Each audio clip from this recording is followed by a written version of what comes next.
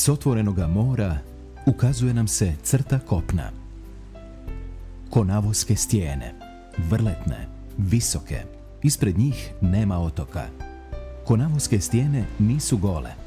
Obrasle su mirisnom vegetacijom, među kojom zapažamo drvenastu mlječiku, dubrovačku zečinu, mrižicu, a neke od ovih vrsta jedinstvene su, endemske na našoj obali. Ispod planine Snježnice, visoke 1243 metra, stražari Sokol Kula. Pogledom skule možemo obuhvatiti Konavle. Naziv Konavle u dubrovačkom govoru dolazi od riječi kanali, a označava kanale kojima je nekada dovedena voda do Dubrovnika i Caftata. Velika plodna polja i zaseoci bili su nekada posjedi dubrovačkog plemstva –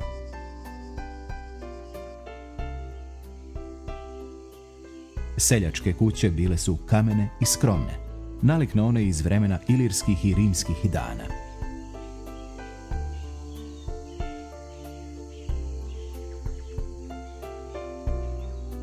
Dolinu prema jugu zatvaraju konavoske stijene, niz koje ćemo se spustiti u dubine.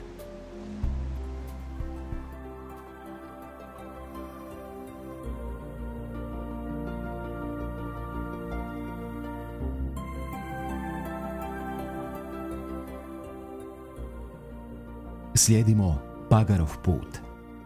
Nas zanimaju stanovnici rupa na kamenim obroncima. Ni strmu liticu preljeva se modrina posuta jatima riba. Struje su ovdje jake, a crne i najbrojniji. Alge se povijaju pod udarima koji dolaze s otvorenoga mora. I škrpun se usidrio prsnim perajama. Život na litici buran je i raznolik. Naša je glavna junakinja plaha kirnja. Tužna izraza lica radoznalo nam prilazi. Možemo ju pronaći u južnom dijelu Jadrana. I ovdje je sve rijeđa. Ona je veliki i proždrljivi lovac. Kirnja je dvospolac, i to tako da je do svoje 12. godine ženka, a poslije mužjak.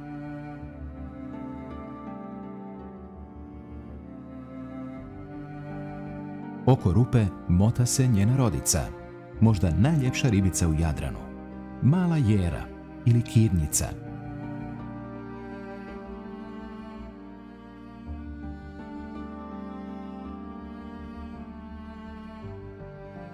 Dok crv pas gimnasticira, mi krećemo kroz stjenovite prolaze do pješčanog dna, u susret stanovnicima konavoskih zidina. Neobična baba, čest je rak juga. Na njezinu oklopu najljepši je dio modri obrub.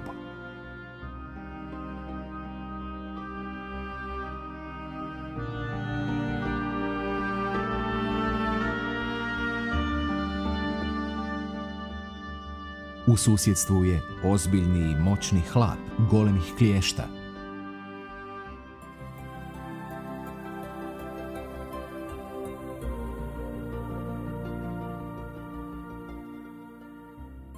Rupama su često skrivene smokva i tabinja.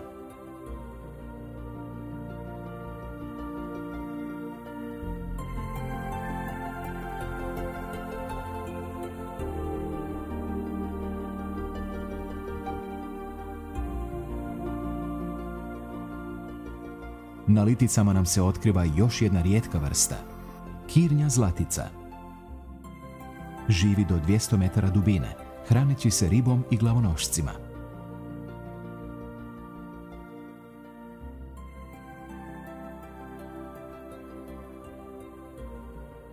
Nije ugodan susret s oštrozubom murinom.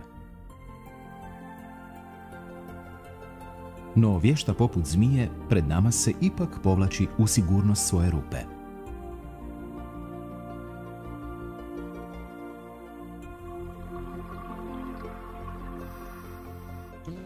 Uz obalu su bogatija mjesta. Najveće je Caftat. Smješten na jugu Župskog zaljeva, na poluotoku Rat, kojemu se na jugoistoku usjekla uvala Tiha. Blaga klima, bujna vegetacija i ljepota pitome obale privukli su u davnini i lire, a ime je ostalo od Rimljana, Civitas. U šestom je stoljeću sjedište biskupije. Evo župne crkve Svetoga Nikole, u kojoj se ističe slika velikog hrvatskog slikara Vlahe Bukovca, rođenoga u Caftatu. Caftat je prepun sakralnih i svjetovnih dijela vrijednih divljenja. Na obali ispred Kneževa dvora spomenik je Baltazaru Bogišiću, utemeljitelju knjižnice, arhiva i muzeja.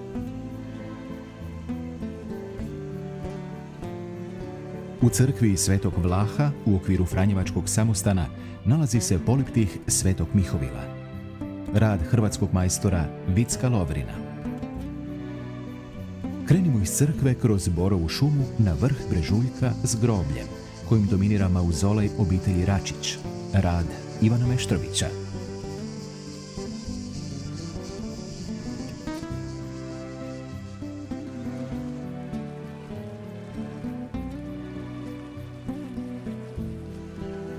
Skalinatom ćemo proći do obale i ugledati tri otoka, Supetar, Mrkanu i Bobaru. Zovu ih Cavtatski grebeni. Na otočiću Supetru bio je Dubrovački lazaret, čiji su temelji sačuvani do danas. Naš uron u modri jazi ispred Caftata otvara tajne čak iz antičkoga doba. Povijest pomoraca može se iščitavati po ostacima potonulih lađa, Njihova zlakob pomaže nam spoznati neke davne trenutke nestalih kultura. Krajem prvog stoljeća prije Krista, trgovački brod Rimske imperije prevozio je dolije. To su goleme keramičke posude, nalik na grčke pitose, za ulje, vino ili rasuti teret.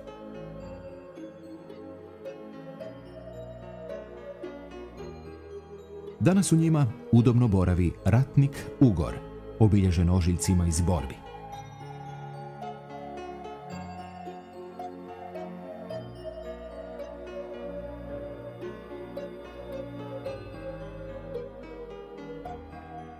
Dolije su dosezale zapremjenu i do 3000 litara. Ove caftatske upola su manje. Nedaleko od Dolija veliko je nalazište amfora.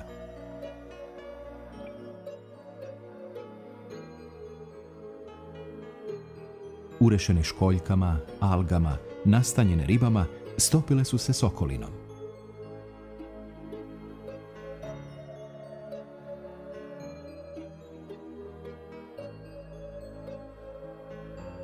Postale su ružičaste, poput ove škrpine. Ili modrikasto sive, kao ugor.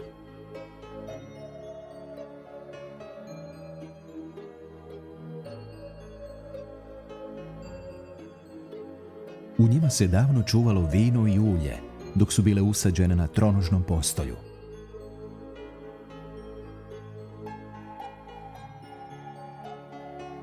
Sada su u pjesku na morskom dnu.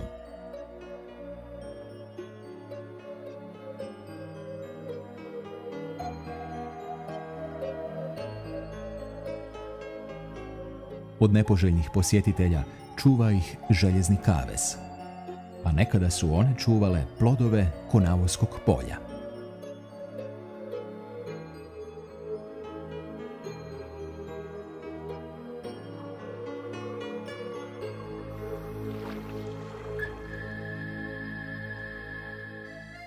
Bogatstvo Konavoskog polja ogleda se na svakom koraku.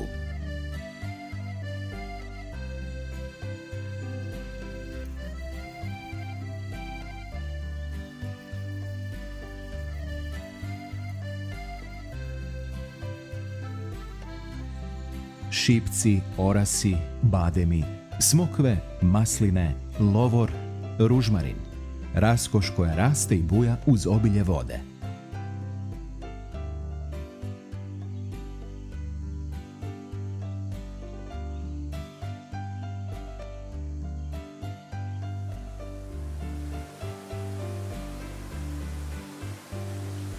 U vrtovima i poljima raste povrće.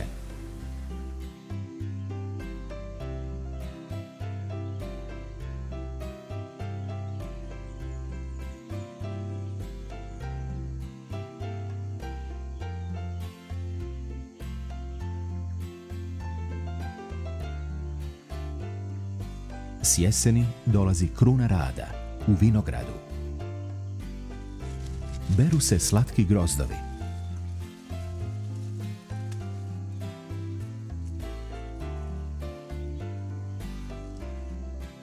Crno grožđe odmah će završiti u konobi i započeti novi život kao mošt, pa zatim vino.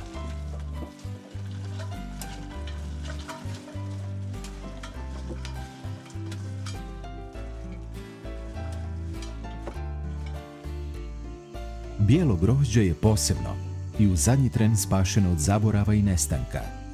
Slador je odličan i vrijeme je berbe.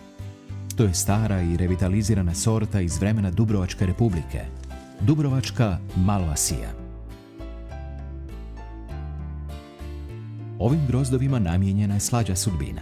Na sušenje će, a onda u proizvodnju prošeka, ekskluzivnog desertnog vina, koje se pilo i za stolovima Dubrovačke vlastele.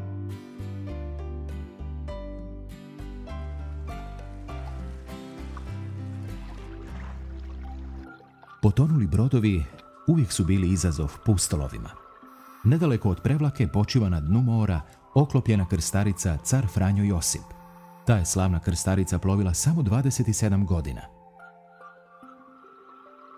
Spuštamo se u modrinu na sredinu broda, između dva jarbola. Brod nas dočekuje nagnut na lijevi bok, zahrđao i okružen ribljim posjetiteljima. Stari bi Rimljani rekli Sic transit gloria mundi. Tako prolazi slava svijeta.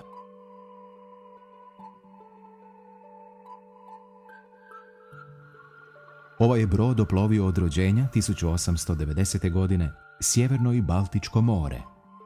Bio na Kreti, u Lisabonu, Aziji. A gle sada, tih i nemoćan.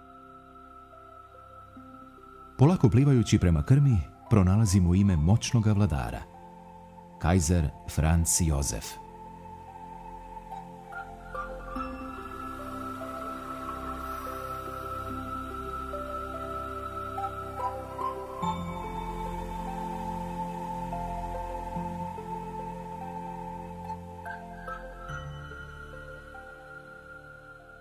U naslagama algi i raznih živih bića susrećemo rijetke stanovnike, sumporače i škrpinu.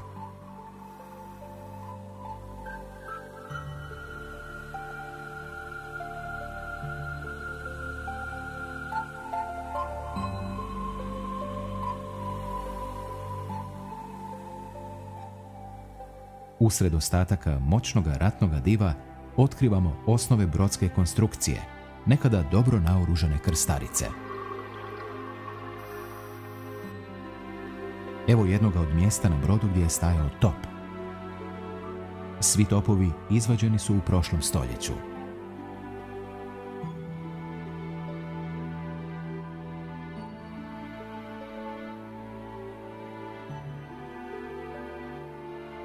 Krećemo se prema pramcu broda.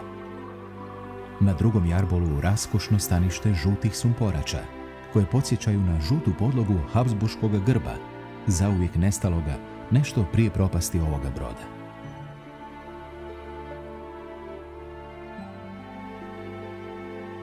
Zavirujemo u unutrašnjost broda na putu prema Pramcu. Sjetimo se da je brod poslije kapitulacije Austrougarske monarhije pod francuskim nadzorom usidren u uvali Žanjica, potonuo u olujnoj noći 17. listopada 1919. godine.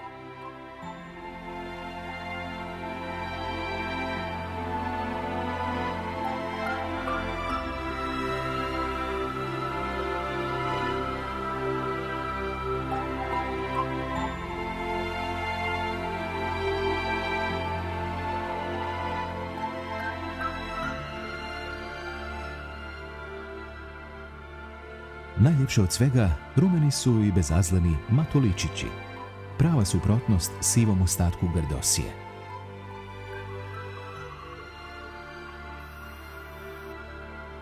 Bio je natovaren oružjem. Na pramcu broda u blizini sidra još uvijek leži nešto eksploziva.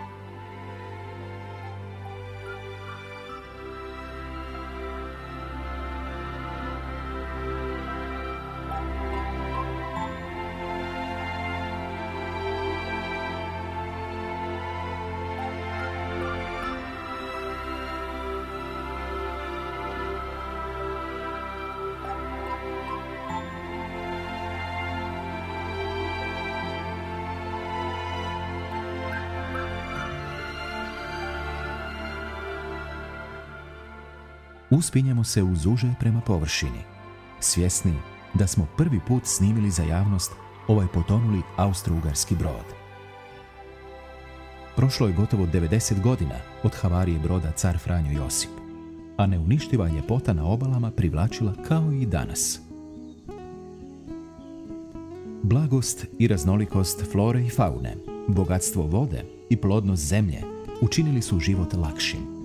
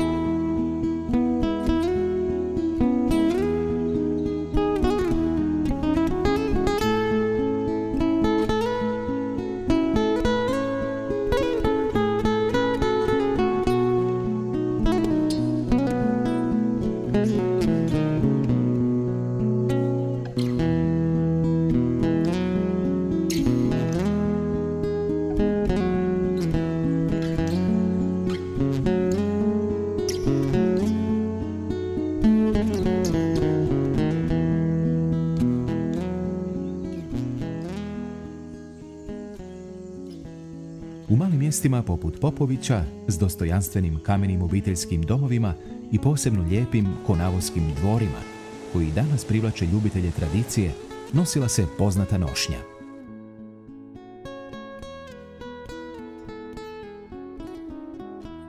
Bijeli, uškrobljeni pokrivači za glavu čine konavoke kraljicama. U blizini su uvijek ljerica i linđo.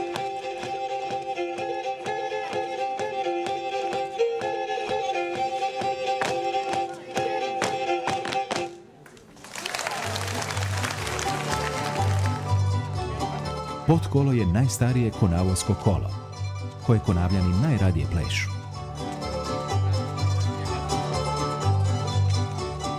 Pučko veselje je pustopašno i razigrano, nastalo u davnini, kad je život bio teži, ali i dragocjeniji. Spustila se noć bez mjesečine na molunat. Jedino je svjetlo naša baterija, koja obasjava podmorski svemir i svjetlucavo biće, rebraša,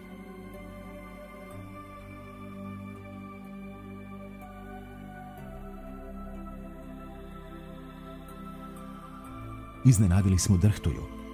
Ona se pokušava izvući zakopavanjem u pjesak ili plivanjem. Drhtulja je bliski rođak raža i morskih pasa.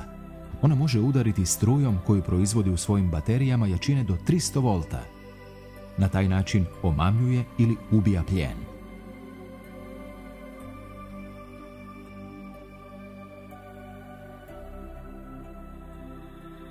Drhtulja rađa 5 do 10 živih mladih, dužine 10 cm.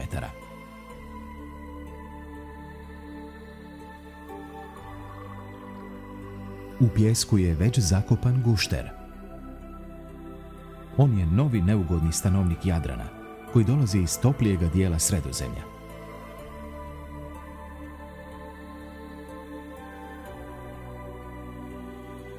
Noćna družina Matuličića i ostalih ribljih stanovnika iznad pješčanog dna u mrkloj noći kao da se smiruje i sakriva.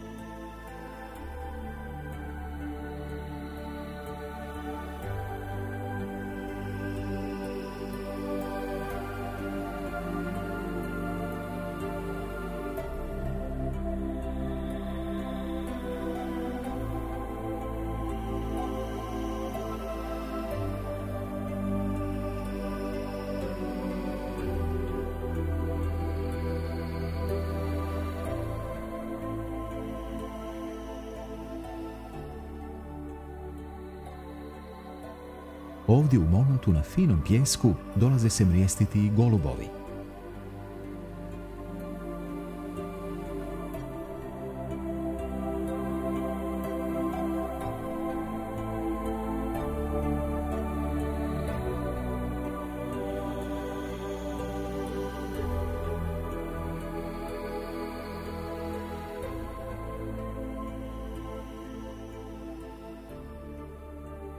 Salpa se toliko smirila da je možemo dotaknuti.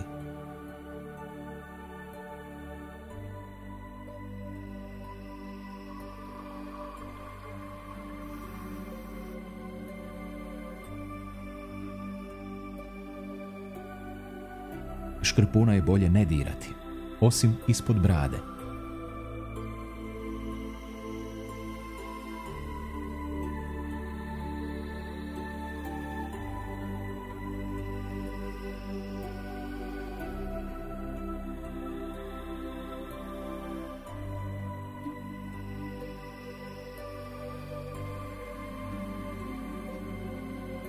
Rijetka i preljepa kavala klizi uz dno i skriva se u šumi Posidonije.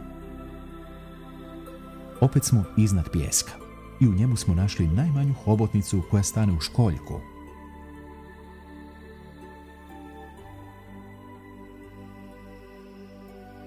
A kad naraste, ovako će plivati.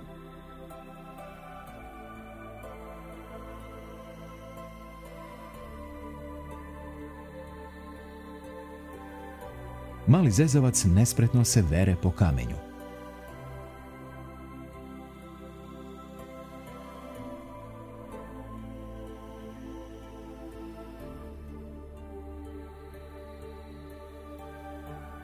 Neobičan plivač u oku naše kamere nije riba. Pratimo ga. Sletio je u polje Posidonije. Tek kad se smirio, prepoznajemo oblik starog znanca iz dubina. Jastoga.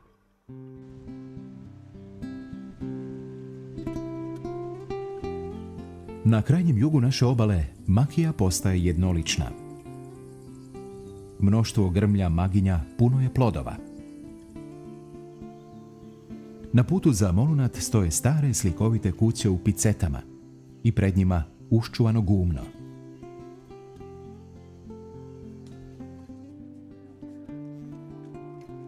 Molunat je naseljen na krajnjem jugu. U ljupkoj uvali, uz pješčana žala, pruža ugođaj ljepote i sigurnosti. Bogata flora obrasta obalu. Petrorargija, mirisna kadulja, žuta zečina, mahovina, rumena kositrenica i ljubičasti vranjemil.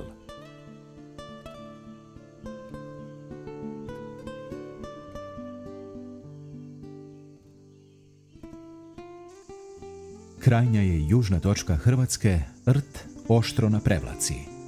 Dugo je ovdje bila vojna baza Austro-Ugarske monarhije.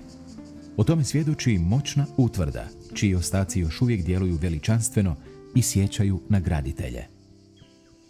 Danas ovaj rubni prostor Republike Hrvatske rese mnoge rijetke biljke. Velecvjetna graholika, jesenski procjepak, primorski čubar, trepavičavi karanfil, skopolijeva glavatka – praprat, primorski trputac, ravenski sladorovac.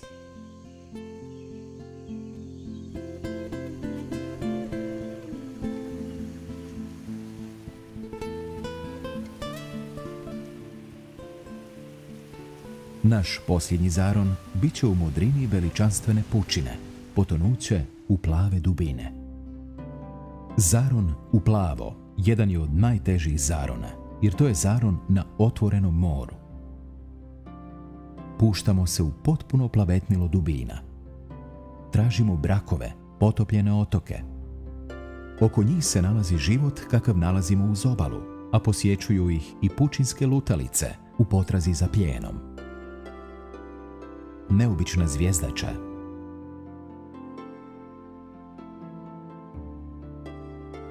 bijela prozračna alga čipkasti eudendrium.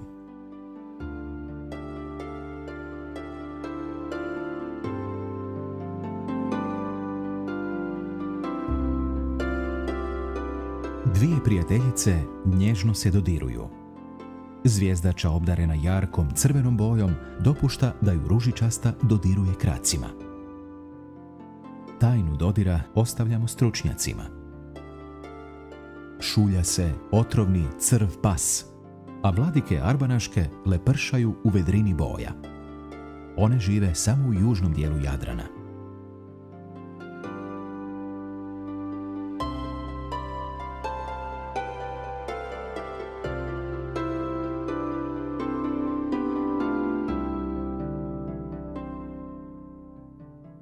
Učimo od jata crneja, jer ni oni ne idu na pučinu. Spuštamo se još dublje i nailazimo na jata jera kirnjica.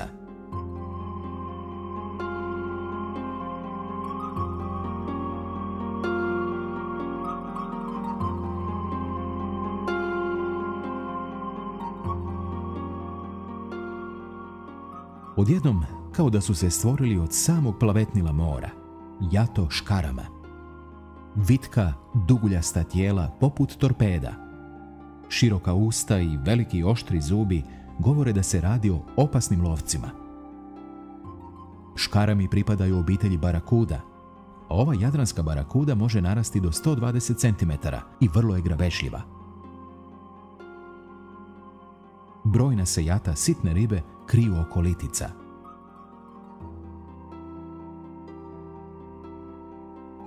Na površini komad drveta.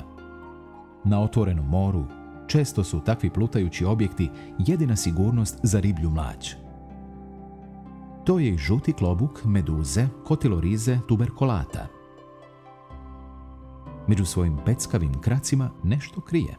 Mlađ šnjura. No i oni su pljen. Veći šnjur pokušava ih uloviti –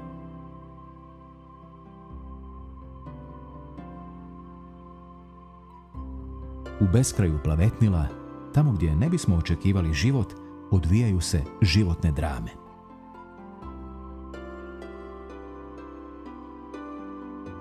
Meduze su inače najljepši prizori podmorja, iako im je reputacija loša.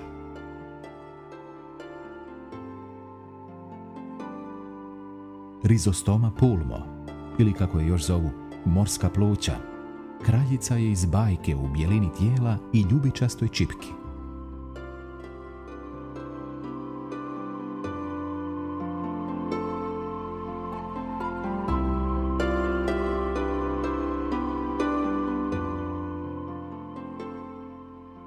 Dok nestaje u čaroli sunca, ususret nam dolazi jato tuna. Tune su možda najmoćniji lovci u Jadranu. Prave pučinske ribe. Mogu narasti čak i do 4 metra i biti teške više od pola tone. Oblik tijela, peraje i usta odaju snažnoga i brzoga plivača, lovca na drugu plavu ribu. Kada one krenu u lov. Bukvama, srdelama, inčunima, giricama loše se piše. Od nekadašnjeg jata ostaju tek zbunjene jedinke, koje su imale nevjerojatnu sreću da izbjegnu proždrljiva usta.